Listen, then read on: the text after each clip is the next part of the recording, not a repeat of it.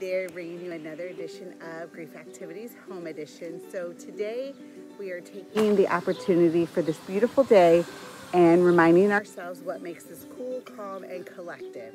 So we are going to do a version of griefography that we would do at Erin's house. For today's purposes, we are going to be calling it Feelings Scavenger Hunt or Nature Hunt.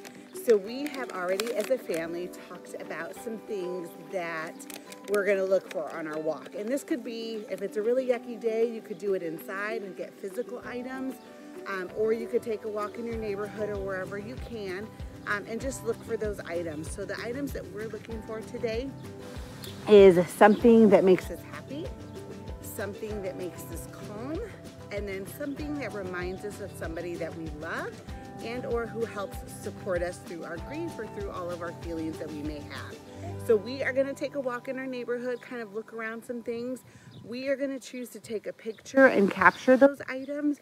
Um, you could do it a bunch of different ways depending on what works best for your family, but we'll take some photos and stuff as we go and we'll see. Say bye.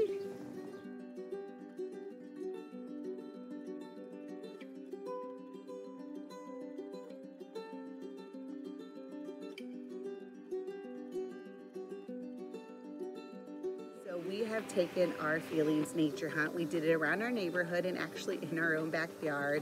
And we had some really good discussion about just things that could help us cool down when we're starting to get upset or angry. We also talked about that sometimes physical items, while they are fantastic, we may not always have access to those.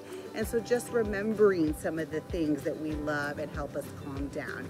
So we decided to take it a step farther and we made a collage. Obviously you don't have to, and if you don't have access to print pictures, you could draw pictures and just put all of those items on a single sheet of paper.